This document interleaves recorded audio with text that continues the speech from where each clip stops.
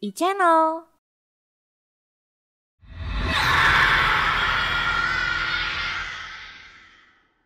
Halo pemirsa, kembali lagi di program Keeng Jangan Sompral. Seperti di segmen sebelumnya, saya berjanji untuk eh, mengundang narasumber yang akan bercerita tentang kisah mistisnya.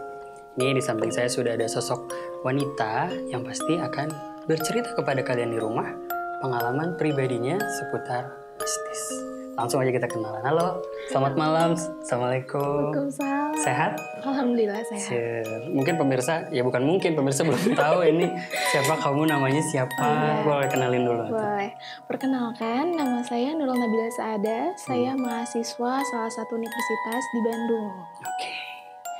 Oke Nurul, eh, ini kita sebelumnya sudah pernah bertemu dan saya ajak Nurul untuk bercerita tentang pengalaman mistisnya. Ya. Boleh silahkan bercerita tentang mistisnya, kejadiannya kapan dan kapan? Jadi waktu itu sekitar setahun yang lalu, 2019. Oh, masih tang- deket ya? Iya masih deket ya? banget. Tanggal 24 Februari kalau nggak salah. Oke. Hari hari itu tuh hari hari Minggu. Jadi maghrib maghrib pukul 5 lah ada lima setengah enam. Maghrib jam 6 bu. Oh iya, Iya. ya pokoknya udah biru-biru, Oh, biru-biru senja-senja tuh ya? udah senja-senja Ya, gimana gitu. Nah dari situ niatnya saya, Malik dan Noval bertiga Hmm. kita tuh ingin kerja kelompok ceritanya. Oke. Kerja kelompok untuk mengerjakan salah satu tugas untuk membuat video. Yap. Saat itu awalnya sih biasa aja ya, apa mencari-cari tempat yang mana sih kira-kira yang dekat dan mudah dijangkau. Nah, ada salah satu gedung di Jalan Pasir Luyu, Hmm. ada di sebelah kiri itu ada sebuah gedung yang udah lama kosong dan dan gak, gak, gak jadi-jadi istilahnya lah. Oke. BCA-nya Iya. bangunan Can Angges. Nah, iya, BCA. Biar nggak terlalu horor bu. Oh, iya, Ya, bener. Terus. Nah, bangunan itu tuh uh, awalnya kayak udah punya feeling kayak ah ini bagus deh kayaknya estetik. Karena kan udah udah sore-sore gitu udah senja-senja ceritanya gitu. Terus di gedung kosong dan itu tuh mau ngepromoin sebuah produk yang produknya tuh emang agak eksklusif lah istilahnya tuh akhirnya pas masuk itu dicegat dulu sama ada salah satu bapak-bapak. Bapak-bapak itu berdiri terus ngomong "E, mau ngapain? Katanya tuh. Terus kita bilang mau syuting. Karena memang benar kan mau syuting. Terus katanya kok kenapa nggak banyak kan ya? Kenapa cuma bertiga? Emang nggak takut ya? Apalagi udah sore-sore kayak gini. Katanya tuh udah udah istilahnya udah mau malam lah gitu. Terus enggak nggak apa-apa. Emang emang cari suasana yang seperti ini. Hmm. katanya tuh. Terus masuk aja kan Oke. Akhirnya diizinin dan kalian masuk. iya diizinin masuk aja nah pas masuk emang keadaan gedungnya tuh udah rapuh banget kayak tangga-tangganya tuh udah bes tinggal besi-besinya aja untuk naik pun susah gitu terus pas dari awal masuk itu tuh udah ngerasa kayak kok rame banget ya di sini Rame padahal itu di gedung kosong. Iya gedung kosong dan memang mereka berdua teman saya. Saya nanya ke teman, kamu ngerasa nggak sih di sini tuh kayak rame banget terus katanya enggak kok. Itu yang bilang rame kamu. Iya saya sendiri. Rame di sana tuh kayak rame aja Kayak ngeliat ada- kayak ada sebuah pasar kayak Hmm, kayak ada pa- event gitu Iya ya? kayak ada event sejenis itulah. Hmm. Pasar pokoknya rame banget di situ tuh kayak ada orang kumpul lagi berdagang bertran- bertransaksi gitu. Ini di ya kamu merasakannya di lantai yang atas atau pada saat kamu masuk memang udah Pas terasa? masuk udah langsung punya feeling kayak ini banyak orang ya. Oke. Terus pas mulai naik nih, naik kan Ke lantai eh, satu. ke lantai satu. Pas naik ke lantai satu tuh kayak emang agak susah dan udah kayak gak kuat aja saya tuh. Oke. Kayak udah lemes banget. Mungkin belum makan ya bu? Ya mungkin tapi waktu itu habis makan. Oh, habis makan. Salahnya habis Oke. makan gitu. Habis merasa makan lemes? tapi ngerasa lemes banget kayak ada Berat yang gitu nyabut gitu energinya tuh kayak ada yang Narik. ambil iya. Terus udah gitu eh, masih meneruskan kan kayak karena Ya untuk tugas juga Tugas. dan hamin satu Dan kebetulan. itu hanya kamu yang merasakan. Iya, Dua teman kamu tidak merasakan. tidak, saya udah nanya gitu sampai berkali-kali, yakin nih mau dilanjut? Iya yakin. Emang kenapa? Hmm. Gak apa-apa, katanya tuh. cuman ngerasa aneh nggak sih enggak kok katanya tuh lama-lama kan akhirnya naik ya naik terus jalan pas jalan Sampai di lantai satu. iya sampai di lantai satu terus kita tuh jalan terus udah gitu pas jalan ada udah udah dari tengah gedung lah istilahnya udah dari tengah-tengah aku ngeliat Awas eh. Lihat apa bu? di sebelah ujung sana di sebelah jadi nih ini aku Gambaran gini nih, hmm. aku gini nih sebelah kanan sana tuh di pojok tuh ada perempuan berdiri Oke. mukanya sih ya kayak Terlihat manusia. jelas sama kamu. iya tapi Teman kamu kayak yang dua? enggak makanya nanya sampai nanya kan eh itu ada orang lain gak sih di sini terus katanya tuh enggak emang siapa sih jangan nakut nakutin katanya gitu terus kayak oh ya udah kali cuman apa cuman mungkin Halusinasi. halusinasi. atau gimana tapi pas truk gitu langsung kayak dia tuh ngelihat sampai kayak gitu Kamu sama perempuan itu saling tatap. iya saling bener-bener eh kontak banget gitu Lalu terus udah kayak gitu teman-teman ap- apa dari situ kan aku tuh ngomong ke teman-teman sebentar deh, sebelum ke situ, Iya. kamu kan tatap mata nih Mm-mm. sama makhluk itu. Yang terlihat oleh kamu seperti apa? perempuan biasa kayak perempuan seumur umur 20-an rambutnya panjang segini terus udah gitu pakai baju dress dressnya tuh segini yang ini terus pakai yang segini pakai polkadot Oh seksi ya? iya Terus pakai kacamata? enggak Aman berarti cuma saya. Oke. Iya. Oke, tapi tatapannya sinis atau kayak kamu pernah cukup sih cukup kuat melihat itu? pernah nggak sih kayak ngerasa kayak oh orang ini kayaknya nggak suka deh nah tetapan dia kayak gitu Gak pernah. bener-bener kayak dalam banget gitu Oke. kayak ngeliatnya tuh dalam banget Berarti tidak ada something yang apa menyeramkan dari dirinya dia? Enggak, cuma kayak aja. kaget aja. Kok ada sih Dianya kaget melihat kamu kan? aku? Oh kamu. Keren dianya kaget. Tapi eh, overall maksudnya secara penglihatan perempuan biasa saja. Mm-mm. Oke lanjut. Nah, udah dari situ nanya nih ke teman-teman. Eh, eh, ngerasa nggak sih eh, ada ada orang di sini? Enggak, aku nggak ada. Terus akhirnya ya udah deh kamu di sini aja. Kita keliling-keliling apa? eh, saya aku sama dia keliling aja. So kamu udah di sini aja diam katanya tuh gitu. Kamu disuruh di, Diam. berdiri sendiri di situ. Iya, diam di situ. Oke. Terus akhirnya mereka pergi. Terus perginya tuh nyamperin. Nyamperin si perempuan ini Mm, tanpa sepengetahuan mereka. iya, padahal udah dikasih tahu jangan ke situ. Tapi kamu tidak bilang bahwa di situ ada apa. Enggak, Oke. Karena kan takutnya mereka jadi gimana-gimana kan jadinya nggak enak juga ke akunya. Oke lanjut. Sampai sana nge-shoot lah mulai nge-shoot. Nge-shoot, nge-shootnya tuh pas banget backgroundnya tuh dia. Kelihatan banget kamera, ini kamera lagi ngerol. Nih, misalkan nih teman aku, nih itu teman aku yang lagi lagi ini, yang lagi apa ya? Mengarahkannya. Enggak, yang jadi model, yang Oke. jadi model iklannya. Di belakangnya tuh ada perempuan, tapi pas pas eh, udah gitu kan ngerekam, ngerekam terus Si kayak perempuannya balik melihat temanmu atau enggak? enggak Atau masih ngelihat aku.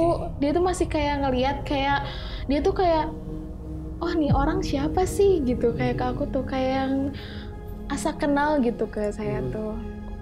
Terus? Nah, udah kayak gitu. eh, udah kan ngevideo, Ngambil video. Ya, ngambil video itu. Nah, udah ambil video itu, mereka akhirnya balik lah. Hmm. Karena kan akunya juga gak apa ya, kayak kasihan ngerasa kasihan sama aku sendirian. Terus pas aku lihat, eh, apa? Aku nanya, coba deh buka filenya bisa nggak? Mau lihat dong shootnya gitu. Hmm. Kamu karena kan, ya? iya karena kan takut ya, Iya. takut Karena ada. kamu tahu ngambil gambar itu di belakangnya ada dia. Iya.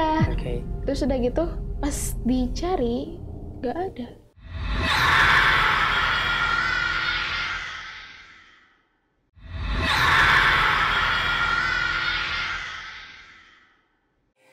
Setelah itu, Ya, terus udah kayak gitu, akhirnya mereka nge-record yang deket daerah aku, Oke, daerah oh, merekam Iya, aja. rekam. Tapi mereka tuh sempet nanya, Nurul, Nurul, kok muka kamu pias banget ya? Pias tuh pucet. Emang kenapa? Katanya tuh, enggak, nggak apa-apa. Gitu. Terus udah kayak gitu beneran nih nggak apa-apa, mau dilanjut. Terus ya sok asal cepet ya cepet-cepet Oh katanya. jadi teh. menurut teman kamu berdua ini kamu merasa kayak aneh sakit gitu atau gimana? Iya, pucat ya? kayak pucat, kayak pucat, iya kayak pucat sakit, kayak bener-bener lagi sakit orang sakit pucat gitu katanya. Tuh beneran nih mau dilanjut? Iya sok asal cepet-cepet ya kata aku teh. Terus udah kayak gitu beneran nih nggak apa-apa iya nggak apa-apa sok kata aku teh. Terus akhirnya mereka tuh tadinya mau ke lantai dua Oke cuman naik lagi. iya naik lagi cuman Tapi, kata aku jangan deh jangan ke lantai dua takutnya kenapa-napa takutnya ada apa-apa Hmm. kan gimana kan Hmm. aku yang repot Hmm. kata aku teh terus akhirnya ya udah deh nggak apa-apa Eh, Nggak jadi aja. nggak jadi aja nge-shoot nge-shootnya daerah daerah deket aku aja Hmm. sudah kayak gitu ternyata si perempuan itu tuh makin ngedeketin mendekat ke arah kalian. Iya, ngedeketin dan pas banget yang orang itu nanya, yang tadi emang kamu nggak apa-apa. Dia tuh pas banget ada di sini. Ini berhadapan begitu. Iya, Kondisinya berdiri di depan dia. iya, Berdiri di depan orang yang nanya kamu nggak apa-apa. Bukan ngelihat ke kamu lagi. ngelihat ke aku, tapi iya dia Di tuh depan kan kamu. eh, depan aku gini. Ini perempuannya nih, ini aku. Terus kamu nggak apa-apa? Iya, nggak apa-apa. Dia tuh di sini, di sini banget. Dia tuh ngadep ke aku gini. Oke. Lalu Udah gitu kan, udah maghrib ya istilahnya, udah jadi se- azan. sepanjang teman kamu ngambil lagi gambar, Mm-mm. si perempuan itu ada beneran di depan kamu. Iya, dan dia nggak pindah. Dan Tidak, dia tuh maksudnya nggak tidak berekspresi apa pun, diem ngeliatin kamu. Iya, iya. gitu. Iya, diem dalam aja gitu. Terus udah kayak gitu kan udah maghrib, udah istilahnya udah azan, udah azan waktu itu tuh. Udah azan terus kan kayak udahlah, udah capek juga gitu. Dan akhirnya emang udah dapat juga apa yang diinginkan gitu. Akhirnya kan ya udah deh. Terus yang mereka berdua, mereka berdua tuh eh, pulang dulu ke rumah teman aku. Teman aku kan rumahnya deket daerah situ di Pasir Luyu. Eh, ya udah deh, kamu mau ikut gak ke rumah aku? Katanya tuh gitu. Terus aku bilang enggak. Pas kan kebetulan aku sendiri ya naik motor. Dan pas mau naik motor tuh kayak ada yang naik gitu paham gak sih? Kalau ada kalau lagi bonceng kalau misalkan naik motor kan kalau ngebonceng ada yang kerasa ya? Mm-mm. kerasa gutak giteknya gitu kerasa Dan gitu. sepenglihatan kamu siapa? aku nggak nggak Oh, ngeliat. iya. maksudnya Cuman pas di sini kayak kok nggak ada? Oh mungkin kayak akunya aja kali yang terlalu hiper apa gimana gitu kan mikirnya ya udahlah terus jalan-jalan berat banget kan di jalan tuh sampai pelan banget terus kayak udah nggak kuat pias pengen pingsan di Hmm. jalan tuh kayak udah mau ngeruntuhin motor aja lah istilahnya Oke. sampai rumah pas buka pintu assalamualaikum kata-kata gitu kan terus bapak bapak aku bilang kamu bisa ngebunuh orang ya Bentar dulu deh. Ini relate-nya gimana ya? Maksudnya, kok jadi ayah kamu jadi melihat pas ngeliat kamu bilang kamu bisa membunuh orang ya? iya. Apa yang terlihat oleh ayahmu? Eh, mungkin dia tuh ngelihat aku tuh bawa sekeluarga gitu katanya tuh. Aku bawa sekeluarga. Mereka tuh wujudnya tuh kayak berlumpur gitu. Kayak Yang berbeda dari yang kamu lihat di tempat iya itu berarti? berbeda. Dan itu sekeluarga bener-bener sekeluarga ayah ibu anak katanya aman uang. enggak paman ayah ibu anak ya pokoknya sekeluarga keluarga kecil tapi ikut katanya tuh Ikut sampai ke rumah kamu. Mm-mm. Setelah Mm-mm. itu, setelah itu kan masuk ya terus kayak kayak aku tuh kan kesel ya maksudnya apa sih baru juga pulang capek udah dituduh-tuduh kayak gitu takutnya aku kan emang dan itu kadang bukan penakut. tuduhan biasa sih. iya maksudnya kan penakut ya emang pasti ada apa-apa nih Hmm. terus pas langsung ke lantai atas mama aku ngomong ih bau bangke banget sih katanya tuh Setelah melihat ber- bertemu kamu, mamamu bilang begitu. iya. Nah, terus? mama aku bilang katanya tuh ih bau bangke banget sih katanya tuh. Sok cepet mandi katanya tuh gitu. Terus akhirnya mandi kan. Terus tapi pas eh, pas mandi sebelum mandi tuh udah kayak ngabiri gidik ngabiri gidik tuh apa ya? Merinding, merinding. Eh, merinding merinding gitu. Maksudnya kayak udah nggak enak badan aja gitu. Pengen pengennya tuh tidur pengennya tuh gitu. Ya. Sudah kayak gitu kan udah mandi terus udah kayak gitu habis mandi selesai mandi ke kamar selimutan habis selimutan tuh kayak kayak ada yang nyerang gitu loh kayak kayak gimana ya kayak ada niup angin sss gitu. Kerasa dingin ya. ah kerasa dingin. Dia makanya sampai kayak ini. "Nah," terus bapakku nanya kamu emang dari mana sih? Katanya tuh. Aku bilang kan aku cerita dari ini syuting kata aku tuh oh ya udah katanya tuh. Sok minum teh katanya tuh. Akhirnya kan aku dibuatin teh sama bapakku sekarang kebetulan bapak aku bisa ya bisa istilahnya itu. eh, mengobati gitu lah istilahnya. Ya udahlah coba aja di ini diambil. Terus udah gitu akhirnya si keluar satu keluarga eh, satu tadi. keluarga itu tadi itu sama bapakku dihilangkan gitu. Maksudnya nggak boleh ikut aku lah gitu istilahnya. Udahlah pergilah gitu. Pergilah sih yang maneh gitu istilahnya gitulah. Eh, terus udah gitu pas sudah diusir malamnya tuh aku mimpi. Malam-malamnya tuh mimpi gini ada kayak keluarga dadah-dadah gitu. Ke aku dadah. Keluarga dan, dan itu keluarga yang ikut denganmu iya kayaknya. Terus kayak dadah-dadah gitu. Dan mukanya tuh flat banget. Oke. Dan apa kabar si perempuan itu perempuan itu tuh ada di kamar aku. Melihat di pojok dinding. Sam- sampai si keluarga satu keluarga ini pergi dia ternyata perempuan ini ikut. Iya ternyata perempuan ini tuh ikut. Nggak naik motor kamu tapi? Nggak tahu. Tapi setelah kejadian itu tidak ada apa-apa lagi Hmm, almost down semuanya udah habis udah nggak ada apa-apa lagi samp- yang itu tuh parahnya tuh aku eh, kan waktu itu lagi uprak ya ujian praktek Hmm. ujian praktek tuh selama seminggu aku tuh sakit Hmm. itu tuh efek dari itu tuh Efek seminggu itu iya seminggu. seminggu tuh sakit bener-bener sakit bener-bener kayak pulang bolak balik ke iya. dokter weh gitu oke dicek katanya kemungkinan kan kalau panas ya kayak gitu Hmm. kan dulu tuh bukan infeksi itu ya maksudnya mungkin kena apa sih Covid. tipes bukan Oh, belum zaman kan Covid ya? belum maksudnya mungkin aja kena tipes atau gimana tapi waktu itu tuh dokter tuh bilang enggak ini Clear bukan semuanya, biasa baik-baik aja." aja baik-baik aja kok kata itu gitu mungkin sisa-sisa yang masih tertempel selama seminggu dan iya itu sembuhnya dan sampai seminggu. sekarang perempuan itu ada di kamarmu Eh, perempuan itu udah nggak ada, ada. Iya. atau bahkan ada di sini. Ya gitu pemirsa. Jadi cerita dari Nurul eh, aduh sampai belepotan ini. Lumayan agak kalau ngebayanginnya agak sedikit terbawa ya. Jadi mungkin bisa ditarik kesimpulan bahwa aduh jangan coba main-main maghrib mungkin ya. Iya. Gitu. Jadi memang kita harus menghargai hal yang seperti itu mungkin. Bukan mungkin memang ada. Dan coba agak malaman dikit deh mainnya jangan jadi pas maghrib gitu ada lagi yang mau disampaikan ke pemirsa? Hmm, mungkin juga kalian tuh apa kalau apa lebih lebih ke menghargai aja. Maksudnya kita tuh hidup berdampingan ada yang metafisik dan non metafisik gitu Hmm. istilahnya.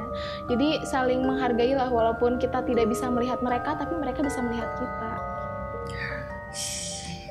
Gitu pemirsa, jadi terima kasih Nurul sudah bercerita pengalamannya. Mudah-mudahan eh, bisa diambil hal baiknya yaitu tadi jangan keluar pas maghrib karena kan itu kayak tipis ya antara aura eh, nggak tahu sepengetahuan saya antara aura mistis eh, alam alam gaib dengan alam kita kayaknya itu pertukaran yang cukup tipis di waktu-waktu itu. Jadi mendingan ya sholat aja ngaji di rumah gitu. Setelahnya boleh main lah. Tapi pamit sama orang tua ya. Oke, ketemu lagi minggu depan masih di hari Kamis jam setengah sembilan malam. Masih bersama saya nanti mengundang lagi narasumber yang cerita mistisnya akan dibagikan kepada kalian di rumah. Sekarang saya pamit. Terima kasih banyak. Assalamualaikum. Selamat malam.